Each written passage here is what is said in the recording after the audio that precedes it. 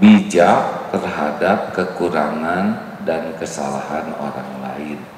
Bu, Ibu, akhwat, kalau bikin kesalahan, misal ya sudah berumah yang sudah berumah tangga, kalau melakukan kesalahan maunya dimarahi oleh suami atau ditegur dengan lemah lembut. Tolong dijawab siapa tuh dikabulkan oleh Allah ya. Maunya di, dimarahi atau ditegur lemah lembut. Catat ya. Maunya diulang-ulang kemarahannya diungkit-ungkit atau cukup sekali aja.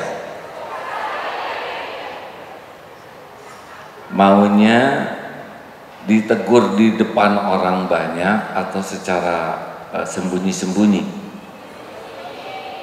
Catat ya. Maunya dimarahi atau dimaafkan. Dimaafkannya enaknya sesudah minta maaf atau sebelum minta maaf. Manis bisa eta hadirin ada Allah hadirin Gusti sore pisan suami. Sempurna permintaannya mah pertanyaannya ibu-ibu ke suami gitu enggak? Nah orang bijak itu memperlakukan orang lain sebagaimana dia ingin diperlakukan oleh orang lain. Jelas bu jadi kalau suami bikin salah tuh ya maafkan sebelum suami minta maaf. Gak mau mereka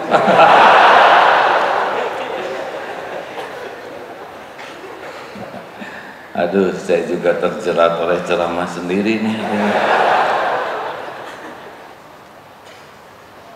Nah, orang berbuat salah itu belum tentu dia tahu itu salah Pak. Waktu saya SMA 80 keluar 81 itu di sekolah yang pakai jilbab cuma satu guru agama. Itu udah sepuh. Dan jilbabnya juga yang disimpan aja. Tidak tuh tidak merasa bersalah. Biasa aja yang lain karena belum nyampe ilmunya. Ada yang melakukan kesalahan dan tidak tahu itu salah. Kita bukan menghakimi, kita posisinya membantu supaya jadi tahu bagaimana kita marah kepada yang tidak tahu.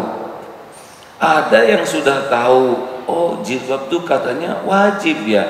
Tapi teman-teman saya nih di kantor ada yang pakai jilbab. Gibah melulu. Ngomongnya nggak enak pelit. Juga nggak bagus di kantor nggak jujur. Ah teman yang nggak pakai jilbab aja bisa bagus akhlaknya.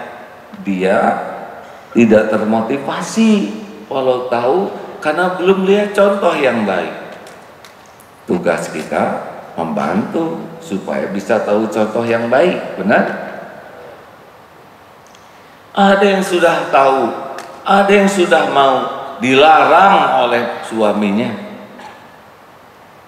Tugas kita membantu supaya lebih takut dan yakin ke Allah.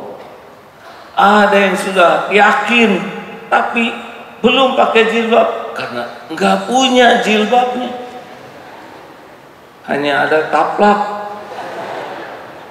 dan sarung batal yang kita lakukan. Patungan beli injil babnya. Misal seperti ini. Ini bijak tidak hadir? Ah, kalau kita salah juga kita tidak mau dihakimi. Kita ingin dibantu. Setuju